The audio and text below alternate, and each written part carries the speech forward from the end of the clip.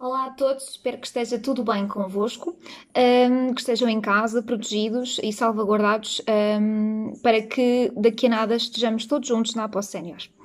Uh, hoje trago-vos a plataforma YouTube. Um, como sabem, a Apple Senior vai começar a disponibilizar, vai disponibilizar as suas aulas online, algumas delas através da plataforma YouTube, uh, e é importante trazer-vos este tema para que estejam todos um, familiarizados com esta plataforma e que saibam usufruir ao máximo daquilo que ela tem para vos dar. Portanto, vamos lá começar. Portanto, a primeira coisa que devemos fazer é clicar no ícone do Google, do Chrome, para abrirmos uma nova página do Google. Nesta nova página que nos vai aparecer, na barra de pesquisa, nós vamos escrever YouTube. Dar um Enter para assumir a nossa pesquisa. Portanto, o nosso motor de busca Google apresenta-nos vários sites, mas nós vamos entrar já no primeiro. Ao clicarmos no primeiro site, aquilo que nos vai acontecer, vai haver a ligação direta para o YouTube um, e é importante que a primeira coisa a ser feita é iniciar sessão. Vamos aguardar um pouco. E agora sim, já estamos aqui na nossa página principal do, do YouTube. Portanto, esta página é a página do YouTube, onde nós, na barra de pesquisa, podemos procurar aquilo que entendermos, mas a primeira coisa a fazer, como eu disse, é iniciar sessão. Portanto, no canto superior direito do vosso ecrã vai aparecer esta, este, este botão aqui, onde nós vamos clicar com o botão esquerdo, tá bem? Que diz iniciar sessão. E aqui é a mesma coisa como se estivéssemos a entrar no nosso e-mail. Portanto, aquilo que vamos fazer é selecionar a nossa conta, ou se não tiverem a vossa conta iniciada, portanto, se não, se não entraram com o vosso e-mail aqui neste, no vosso computador, vão um, clicar em utilizar outra conta, ou utilizar, adicionar conta, que é o que vai aparecer aqui, adicionam a vossa, o vosso e-mail e depois é só clicar e preencher com a vossa password. Portanto, a partir deste passo vocês já ficam com o vosso e-mail registado no YouTube. Ele agora direciona-nos para a página principal do YouTube. Esta que vamos explorar hoje.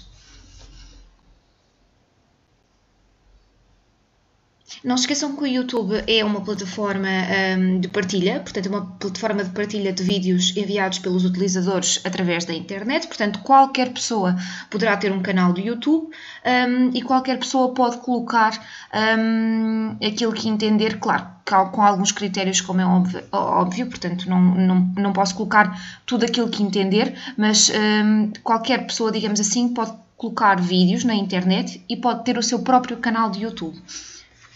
Portanto, estamos aqui na página principal do canal.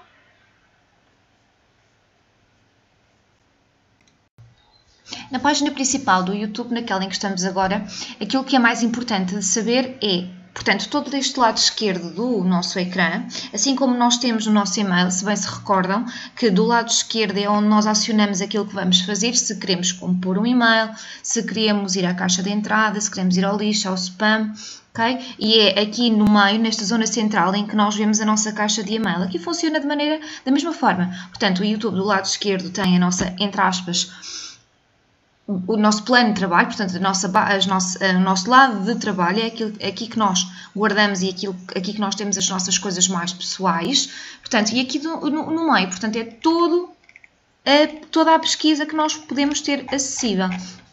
Então, um, no YouTube é importante saber que uh, vocês podem subscrever pessoas, artistas, um, e, e, a partir do momento em que subscrevem esse artista, conseguem assistir uh, e conseguem ter a oportunidade de ver tudo aquilo que já foi publicado no canal de YouTube desse artista.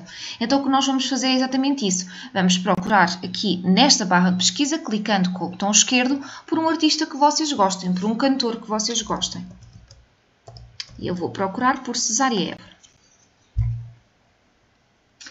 Aparecendo-me Cesária Eva, portanto, eu vou ver todos os, um, os vídeos que foram publicados na página da Cesária e o mais importante será subscrever o canal.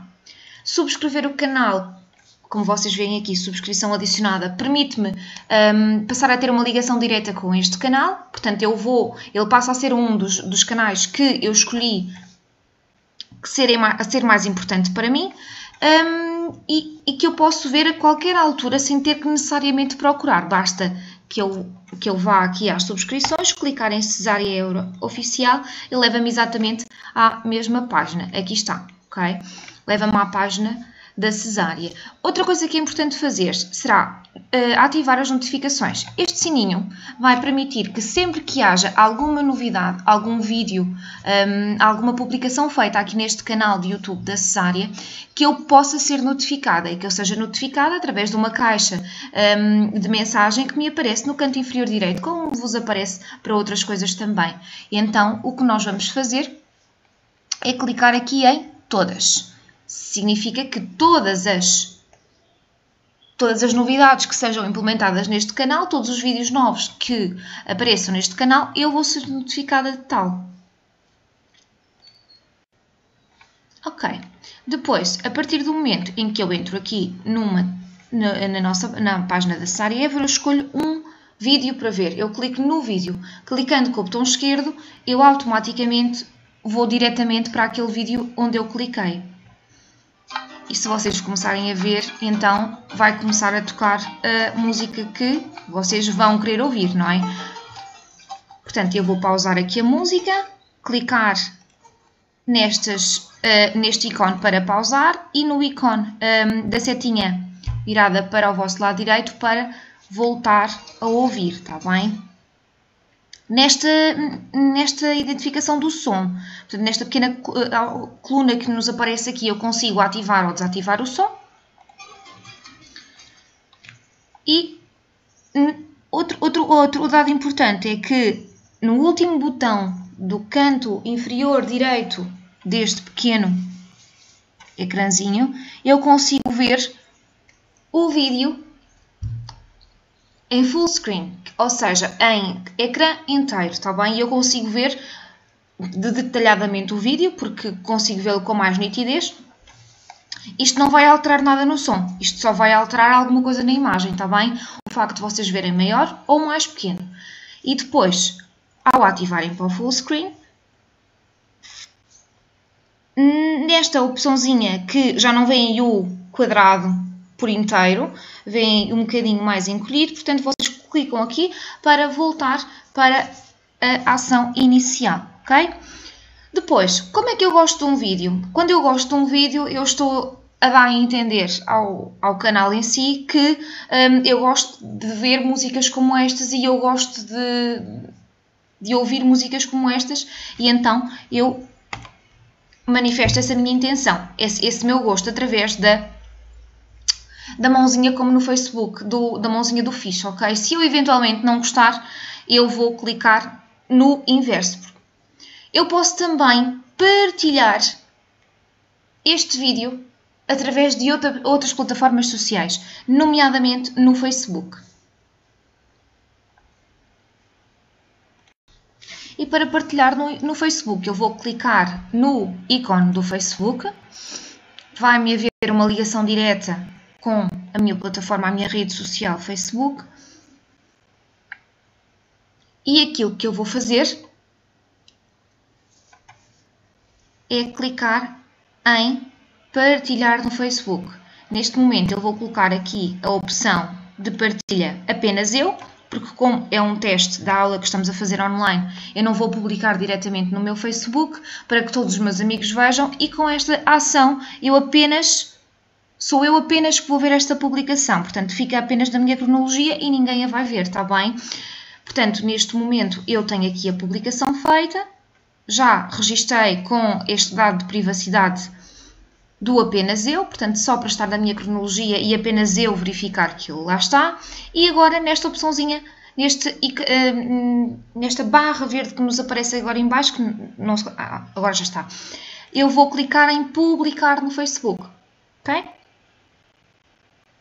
Ok, tudo bem. Publicada esta nossa ação, portanto, todos os vídeos que eu vejo no YouTube, eu tenho a possibilidade de partilhar para outros canais, um, para outras redes sociais, está bem? Sendo que a rede que fará mais sentido certamente publicar será o Facebook. Se for uma, uma música da vossa, da vossa infância, uma música que, que tem algum significado para vocês, que vocês gostassem de enviar um, para algum amigo, portanto, podem fazê-lo desta forma, está bem? Ok, então, passando ao passo seguinte, vamos clicar novamente aqui em YouTube, portanto, na palavra YouTube que aparece no canto superior esquerdo do vosso ecrã. Aqui voltamos outra vez à página inicial. No lado esquerdo, como eu vos disse, são, é o nosso lado de trabalho. Nas subscrições que vocês vão ver, atenção que nas vossas subscrições podem não aparecer as mesmas pessoas que eu, eh, que me aparecem a mim, porque o canal do YouTube é particular, portanto, aquilo que me aparece a mim não significa que seja a mesma coisa que vai aparecer a, aparecer a outra pessoa. Portanto, aqui aparecem os, as pessoas, os artistas, as personalidades que eu gostei, portanto, que eu quis seguir afincadamente e então eu subscrevi o canal. Ok? E um desses canais é o canal da Apo Sénior. Portanto, o canal da Apo Sénior é exatamente como os outros canais, portanto, eh, eh, verifica-nos aqui vários, eh, mostra-nos aqui vários vídeos que foram publicados no, pelo canal.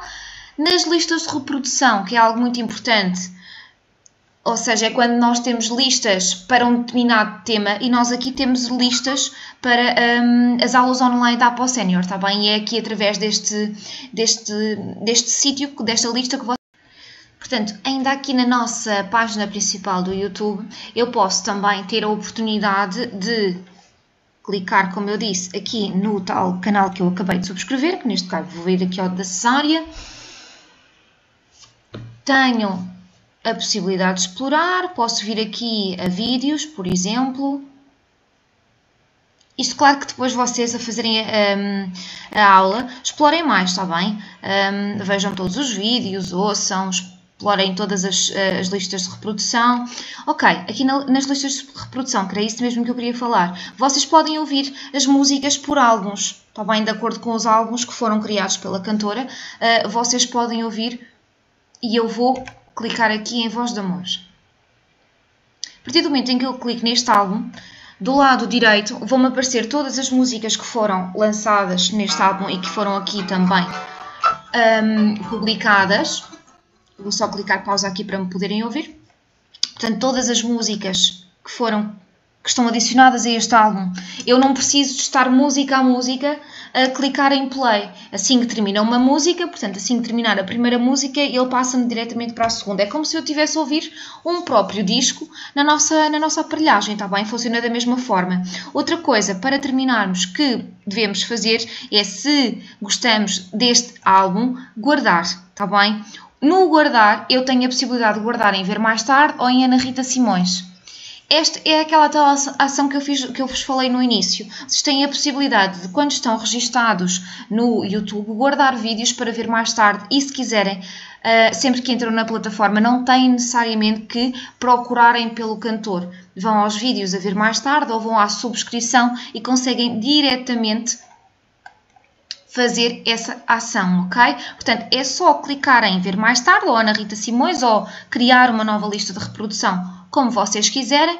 Podem também criar e dar-lhe o nome de playlist, por exemplo. Criar e adicionar todos os álbuns do YouTube que vocês gostam, daquele cantor que vocês gostam, ao, à vossa playlist e um dia que quiserem ouvirem esses, uh, clicarem em playlist e começar a tocar. E terminamos a nossa aula de redes sociais. Espero que tenha sido útil uh, para todos vós. Deixem o vosso comentário nesta ou noutra aula que tenham visto. Um, deixem a vossa opinião. Gostávamos também que comentassem com ideias, com temas, com programas, com aplicações, com tudo aquilo que vocês acharem que é importante para vocês e gostavam de ver aqui nas nossas aulas online. Obrigada e até à próxima!